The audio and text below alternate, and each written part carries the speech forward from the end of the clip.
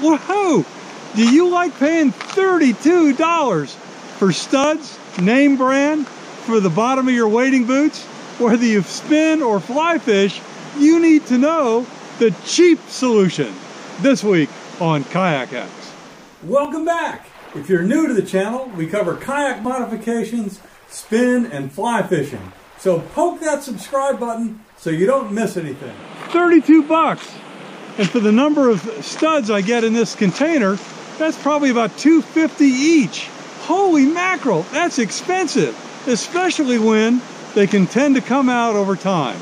Well, I've got good news for you. You don't need to do this anymore.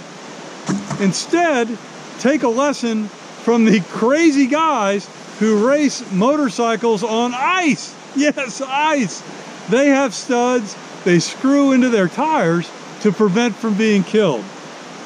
They're called Kold Kutters. And you can see here, it's for motorcycles, ATVs, and snowmobiles. And, oh by the way, they're perfect for wading boots as well.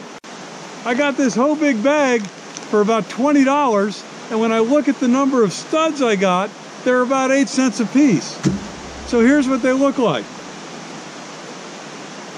They look just exactly like the studs you would put into the bottom of a boot. And they come in 3 eighths of an inch or 1 half inch size to match up with your boot.